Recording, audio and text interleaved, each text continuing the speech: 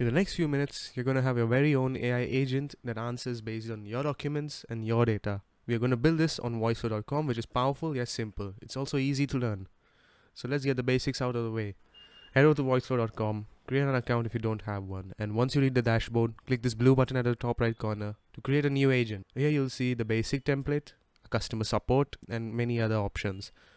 We'll choose the basic template for now give your agent a name. Next you can leave the knowledge base fields empty for now. Once it's created you will land on the knowledge base tab. Here first we'll remove the existing data and then we'll add our own. You can add either a website a doc file but now I'll just add a text file using the add data source option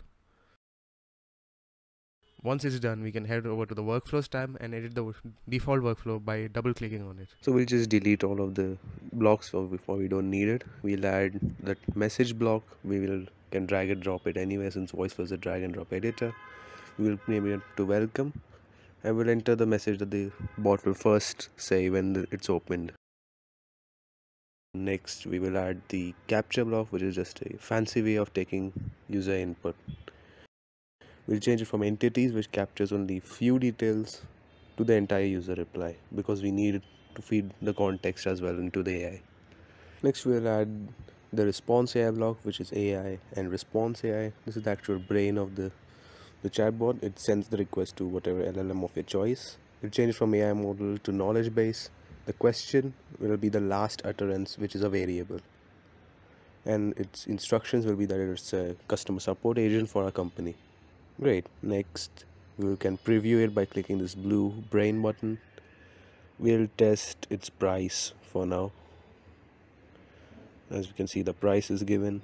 We'll ask it what's the price of the DT9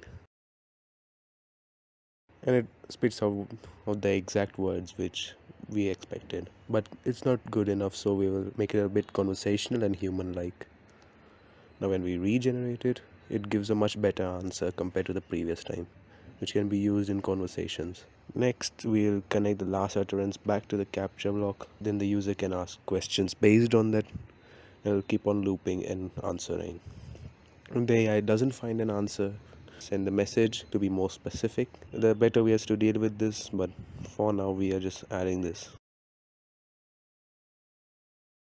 we'll rename this to no answer. And then we are done. We can run our agent by clicking on this blue button. We can click run test. And now we can message a question. We'll add the safety rating and it responds correctly as seen in the text which is a five star rating. Next you can change the llm by going the knowledge tab again clicking on this gear icon and changing to whatever llm of your choice. Different llms take different amount of tokens so be aware of what you're taking Next, if you want to import the template which I've provided in the description, you can create the import.vf file. This video is a part of a series that where we will continually improve the AI. Thanks for watching. Subscribe to the channel if you like this video and stay tuned for the next one.